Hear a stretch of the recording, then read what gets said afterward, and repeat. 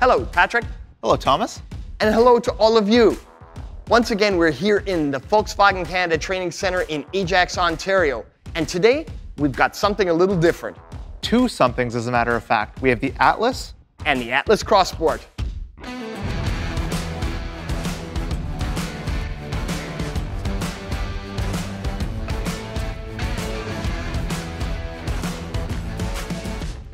Now, typically, we start these videos front of the car. But today, most of the action is happening at the rear. That's because with the Atlas and the Atlas Cross Sport, most of the differences can be seen here at the rear view. Let's start with the little brother, the Atlas Cross Sport. Of course, with the Atlas, Volkswagen established itself as a purveyor of large intermediate SUVs with six and seven seating capacity. However, with the Atlas Cross Sport, they've shaved a few centimeters from the length of the car, given it a faster roofline, and removed the third row of seats for a truly cavernous cargo area. Cavernous trunk. Patrick, I live in Toronto and I've seen apartments that were smaller than this. This is more than cavernous. No question. Little, of course, is a relative term. There's also some styling differences you'll see, like these different taillights, a steeper rear glass, and as I mentioned before, a steeper lower roofline, giving the vehicle a more grounded stance. Now, outside of the rear end of the car, what other differences can we find between the two? I mean, the big one that you'll see inside, as I mentioned, is the third row of seating. So if you want to open the trunk lid on that Atlas, we'll see that this particular model has three rows of seats and of course a spacious first and second row. And in the middle, you can choose either six with captain's chairs or seven passenger seating with a middle bench. Fantastic. What about powertrains? What are we looking at here? So the drivetrains in Atlas and Atlas Cross Sport come in two flavors, but no matter which you choose, every Atlas or Cross Sport has an 8-speed automatic transmission and Volkswagen's standard 4MOTION all-wheel drive system. Now, there's a 2-liter turbocharged 4-cylinder engine that produces 235 horsepower and 259 pound-feet of torque.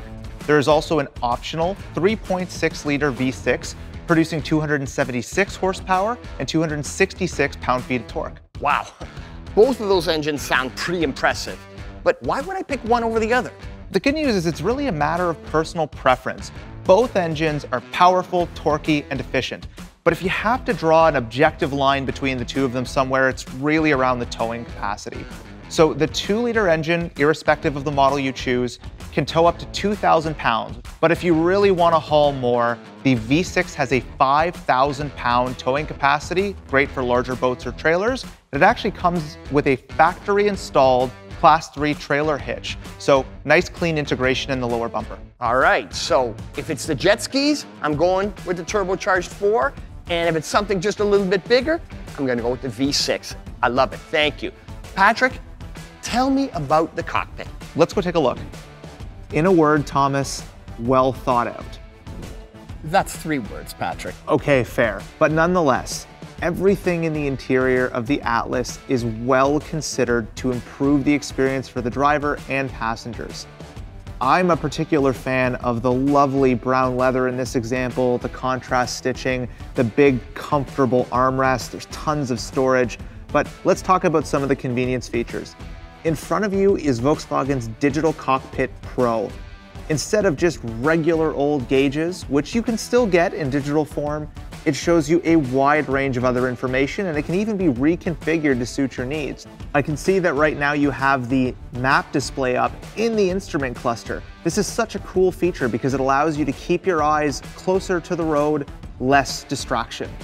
Patrick, you know how much I like my music.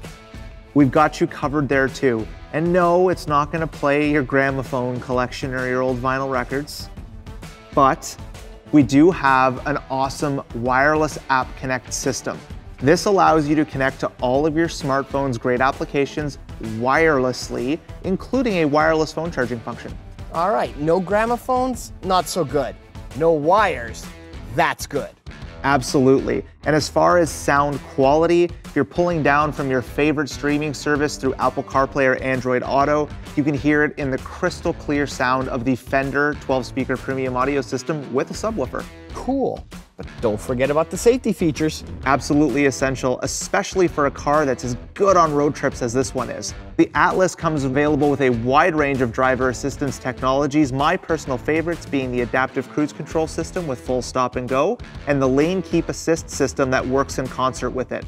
No, the car will not drive itself for you, and after all, Volkswagen is a company that prides itself on the driving experience, but it will nonetheless reduce your fatigue on a long drive. Sounds like a plan. But if looks are more your thing, both of the vehicles with us here today have the optional R-Line appearance package. The R-Line package is an available option on top of the Execline trim of both the Atlas and the Atlas Cross Sport. Now, R is a harkening back to the legendary R Performance division of the Volkswagen brand, which means that this package brings with it sporty styling elements like a reshaped front bumper with bolder, larger air intakes. My favorite, the 21 inch Braselton aluminum alloy wheels, and a wide range of touches across and inside the vehicle, like special badging, special trim decor, aluminum pedals, even an R line specific heated steering wheel. Sounds like you can get your Atlas or your Atlas Cross Sport with any level of bling that you want, Patrick. That's right, but of course you don't need the R-Line package to get a great looking Atlas. And don't forget, wide range of awesome color options, including this racing green, this pure gray, even different leather options. My particular favorites are the Mauro Brown and the Burgundy. Very nice choices, Patrick. And for all of you please go to vw.ca where you can spec and price your own Atlas or Atlas Cross Sport. There's full details in there. You can use our build and price feature to create your own Atlas or Atlas Cross Sport. You can find the dealer closest to you, and from the comfort of your own couch, you can even check our online inventory. It's all there, it's all on vw.ca. Thanks for watching.